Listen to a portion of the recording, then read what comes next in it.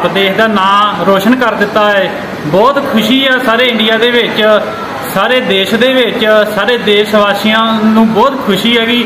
ਅੱਜ India team ਨੇ ਜਿਹੜੇ 5 4 ਨਾਲ ਮੈਚ ਜਿੱਤਿਆ ਹੈ, ਬਹੁਤ ਗਰਵ ਦੀ ਗੱਲ ਆ ਤੇ ਬ੍ਰੌਂਜ਼ ਮੈਡਲ ਪ੍ਰਾਪਤ ਕੀਤਾ ਹੈ ਤੇ ਪਿੰਡ ਤਿਮੋਵਾਲ ਦੇ ਵਿੱਚ ਬਹੁਤ ਖੁਸ਼ੀ ਦੀ ਲਹਿਰ ਉੱਠੀ ਆ।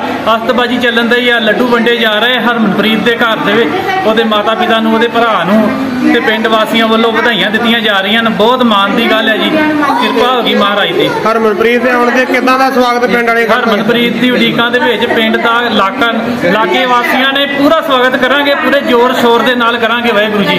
ਦੇਖੋ ਜੀ ਖੁਸ਼ੀ ਦਾ ਕੋਈ ਠਿਕਾਣਾ ਹੀ ਨਹੀਂ। ਅਸੀਂ ਸਾਡੇ ਵੱਲੋਂ ਸਾਰੀ ਟੀਮ ਨੂੰ ਬਹੁਤ ਬਹੁਤ ਵਧਾਈਆਂ। ਨਿੱਕੀ ਗੱਡੀ ਦੀ ਚਾਬੀ ਹੈ। ਅੱਜ ਕਿੱਦਾਂ ਦਾ ਪ੍ਰਦਰਸ਼ਨ ਕੀਤਾ ਹਰਮਨਪ੍ਰੀਤ ਨੇ ਖੇਡ ਦੇ ਵਿੱਚ ਜਾਂ ਪਿਛਲੀਆਂ ਜਿਹੜੀਆਂ ਹੋਈਆਂ ਗੇਮਾਂ ਦੇ ਵਿੱਚ ਪਿਛਲੇ ਮੈਚਾਂ ਦੇ ਵਿੱਚ ਕਿੱਦਾਂ ਦਾ ਪ੍ਰਦਰਸ਼ਨ ਰਿਹਾ ਹਰਮਨਪ੍ਰੀਤ ਦਾ? ਦੇਖੋ ਜੀ ਸਾਰੀ ਟੀਮ ਦਾ ਹੀ ਬਹੁਤ ਵਧੀਆ ਰਿਹਾ। ਸਾਰੀ ਟੀਮ ਨੂੰ ਵਧਾਈ ਹੈ ਸਾਰੀ ਟੀਮ ਨੂੰ ਵਧਾਈ ਆ ਪ੍ਰਦਰਸ਼ਨ ਸਾਰਿਆਂ ਦਾ ਵਧੀਆ ਹੈ ਪਿੰਡ ਵਾਸੀਆਂ ਵੱਲੋਂ ਜਾਂ ਪਰਿਵਾਰ ਵੱਲੋਂ ਅੱਜ ਕਿੱਦਾਂ ਖੁਸ਼ੀ ਮਨਾਈ ਜਾ ਰਹੀ ਹੈ? ਦੇਖੋ ਜੀ ਸਾਡੇ ਸਰਪੰਚ ਸਾਬਕਾ ਸਰਦਾਰ ਗੁਰਦੇਵ ਸਿੰਘ ਹੋਣੀ ਤੇ ਆਪਣਾ ਉਹਨਾਂ ਨੇ ਬੜੀ ਅੱਜ ਅਸਤਬਾਜੀ ਬੜੀ ਚਲਾਈ ਆ। ਸਰਦਾਰ ਗੁਰਦੇਵ ਸਿੰਘ ਸਾਬਕਾ ਸਰਪੰਚ ਨੇ ਉਹਨਾਂ ਬੜੀ ਖੁਸ਼ੀ ਮਨਾਈ ਆ।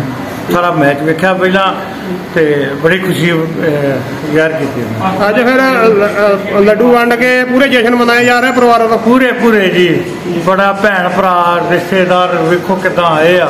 ਸਾਰਿਆਂ ਨੂੰ ਬੜੀ ਖੁਸ਼ੀ ਹੈ ਜੀ। ਹਾਕੀ ਟੀਮ ਨੇ 40 ਸਾਲਾਂ ਦਾ ਰਿਕਾਰਡ ਜਿਹੜਾ ਤੋੜਿਆ ਵਾ ਤੁਸੀਂ ਪੰਜਾਬ ਸਰਕਾਰ ਕੋਲੋਂ ਜਾਂ ਭਾਰਤ ਸਰਕਾਰ ਕੋਲੋਂ ਮੰਗ ਕਰਨੀ ਚਾਹੁੰਦੇ? ਅਸੀਂ ਤਾਂ ਇੱਕੋ ਹੀ ਮੰਗਿਆ ਸਾਡੀ ਤੇ। ਸਾਡੀ ਇਹੋ ਹੀ ਬੇਨਤੀ ਆ ਪੰਜਾਬ ਸਰਕਾਰ ਗੜੀ ਇੱਕ ਨੌਕਰੀਆਂ ਚੰਗੀਆਂ ਦੇਣ ਬੱਚਿਆਂ ਨੂੰ ਜਿਹੜੇ ਖੇਡ ਕੇ ਆਏ ਆ। ਸਟੇਡੀਅਮ ਦੇਣ ਬੜਾ ਖੁਸ਼ੀ ਵਾਲਾ ਮੌਕਾ ਅੱਜ 40 50 ਸਾਲ ਬਾਅਦ ਅੱਜ ਬੱਚਿਆਂ ਨੇ ਮੈਡਲ ਲਿਆਂਦਾ। ਬੜੀ ਕਿਰਪਾ ਜੀ ਬਹੁਤ ਖੁਸ਼ੀ ਆ ਕੋਈ ਹੱਦ ਨਹੀਂ ਖੁਸ਼ੀ।